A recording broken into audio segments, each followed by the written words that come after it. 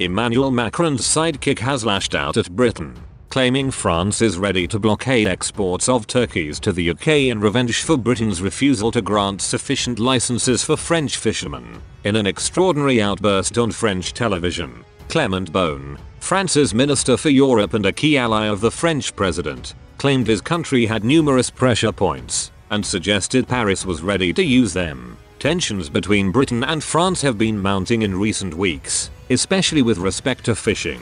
Prior to Brexit, French boats were free to fish in the 6 to 12 mile zone, but must now prove that they did so prior to Britain quitting the bloc. Last week it emerged the UK had granted just offering just 12 out of a possible 47 licenses to smaller French fishing boats. French fishermen have already threatened to block the port of Calais to British boats, as well as the Channel Tunnel, if London does not grant before the end of the month. Mr. Beaune, speaking to BFM TV yesterday, said in total, France had asked for 450 fishing licenses but had only been granted 275. He said, we're 40% short, but we insist on those 450. They failed on Brexit. It was a bad choice. Threatening us, threatening our fishermen, will not settle their supply of turkey at Christmas. Britons need us to sell their products, including from fishing.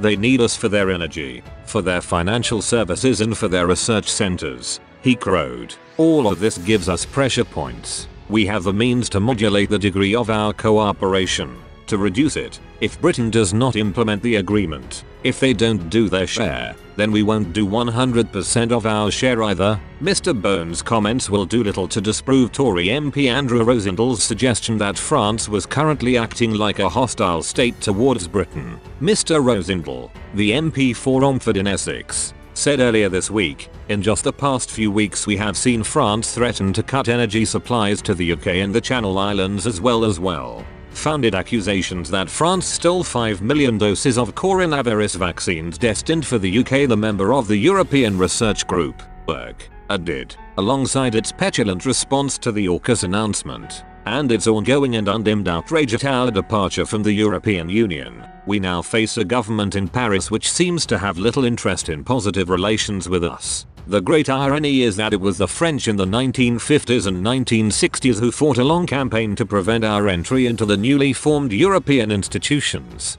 Mr. Rosenthal urged the government to take a long hard look at how France fitted into Britain's newly configured foreign policy, especially in the context of the integrated review of Britain's defense capabilities. He explained, the integrated review describes our relationship with France as a deep and long-standing security and defense partnership with France, underpinned by the Lancaster House treaties and exemplified by our combined joint expeditionary force. France's recent behavior makes a mockery of this depiction. It is time for the government to be clear with France. We have friends across Europe, the Commonwealth and indeed the world. France is not as important as it thinks it is, urged Deputy Chairman David Jones, the Tory MP for Clwyd West, told France's president had an eye on next year. He said, the truth is that M. Macron is desperately worried about next year's French presidential election and he considers it politically expedient to try to bash the Brits. Sadly for him, he appears to be having little impact, with public opinion polls showing net disapproval for his performance. A recent poll showed an approval rating of only 29%, suggesting that his apparently tough stance is having no impact with French voters and that his days in the Elysee Palace may well be numbered.